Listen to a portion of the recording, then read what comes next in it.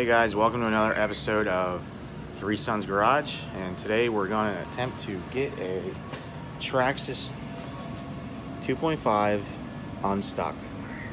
I mean, it's stuck. So, I dumped a little ATF down the uh, intake.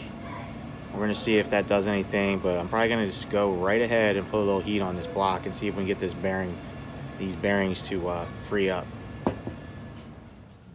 Yep, guys, that's right. Vice grips. Vice grips. burns Bernzomatic torch. And put a little heat on this thing. See if we get the free up. Yep, and you can yell at me all you want about the vice grips, but we're just uh, we're just gonna wing it, okay? What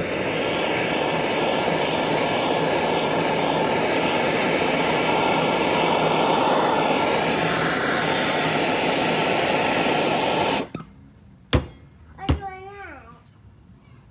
See if it. Look at that.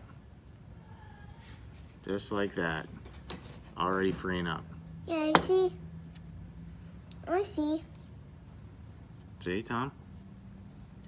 Why did you do that? Because we want to get, see if we can get this engine running, right? Oh, Right? yeah. Right? There it is. Just like that.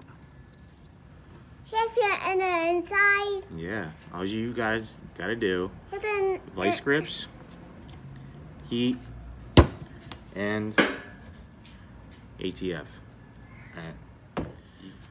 So now the big question is, will it run? That is yet to be determined down the road. But for now, I just wanted to show you guys how you can get your nitro engines unstuck that have been sitting for years upon years very easily. Guess that'll do it.